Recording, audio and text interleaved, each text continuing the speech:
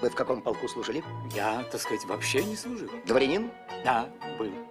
Надеюсь, остались им и теперь. Крепитесь. Нам потребуется ваша помощь. За граница нам поможет. Запад с нами. Запад с нами. Послушай, как тебе не стыдно? Где твое гостеприимство? Ты же хозяин. Хозяин, Лева, спокойно, не нервничать. Я тоже нервный.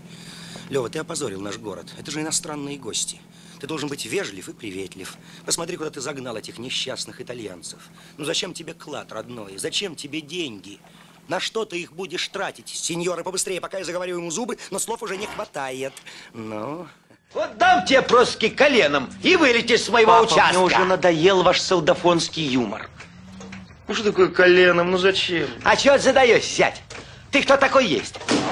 Это моя дача. Не ссорьтесь, умоляю вас, рабочие услышат.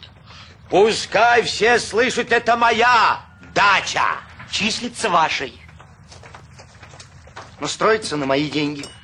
А ты это докажи. Да перестаньте же, ну. Ты вообще живешь на свете по доверенности. Все, сюда, не трожь собачку. У вас есть мужество признаться, кто выключил наше радио? Ну? Я? Наташа? Да, Наташа, проверь, вещи все целы? Сейчас проверю, сейчас проверю.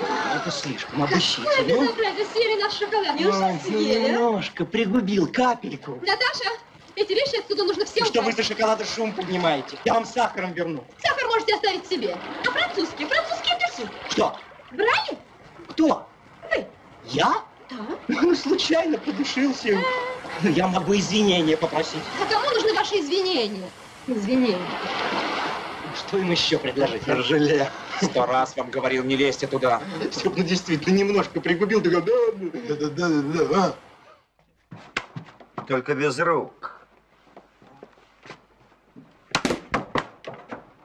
Маманя!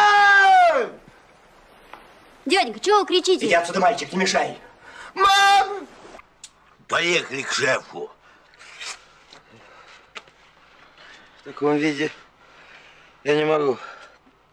Я должен я принять ванну, выпить чашечку кофе. Заба, заба, заба,